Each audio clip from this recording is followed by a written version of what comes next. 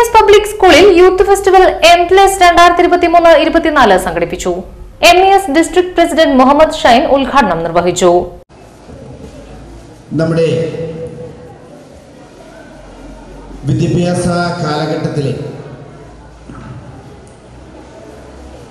ഏറ്റവും മനോഹരമായ ഒരു കാലഘട്ടമാണ് നമ്മുടെ സ്കൂൾ വിദ്യാഭ്യാസം. നമ്മുടെ ഈ സ്കൂൾ വിദ്യാഭ്യാസവും അതുപോലെ തന്നെ സർവകലാ വിദ്യാഭ്യാസ വിദ്യാഭ്യാസവും. കടന്ന്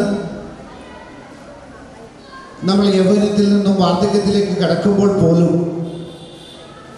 നമ്മുടെ മനസ്സിന്റെ ഉള്ളിൽ തെളിഞ്ഞു വരുന്ന ഒരു കാലഘട്ടം എന്ന് പറയുന്നത്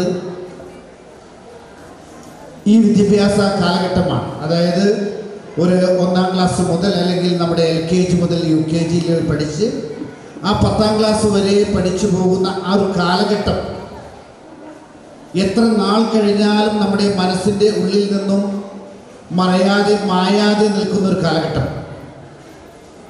ആ കാലഘട്ടം നമുക്ക് നന്നായി ആസ്വദിക്കാൻ കഴിയണം.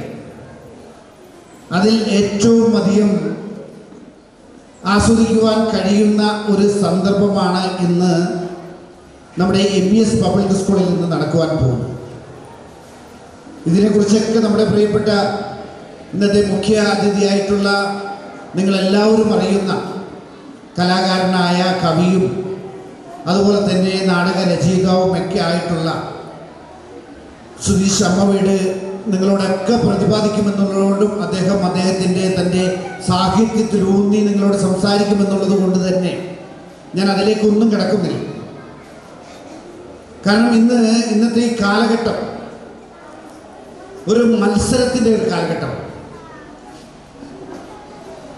ആ മത്സരത്തിന്റെ കാലഘട്ടത്തിൽ തന്നിലുണ്ടാവുന്ന കഴിവുകൾ പരമാവധി പുറത്തെടുത്താൽ മാത്രമേ നമുക്ക് ഇന്ന് നിലനിൽക്കാൻ കഴിയൂ എന്നുള്ളതാണ്. M E S public school chairman P H Moideen അധ്യക്ഷത വഹിച്ചു. കവിയും അധ്യാപകനുമായ Sudheesh Ammaveedu മുഖ്യാതിഥിയായിരുന്നു.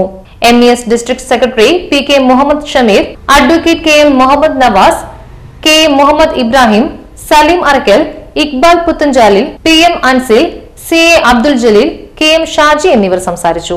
M E S public school treasurer P K Rasheed സ്വാഗതവും. M E S public school principal Shibi Aboobacker നന്ദിയും പറഞ്ഞു.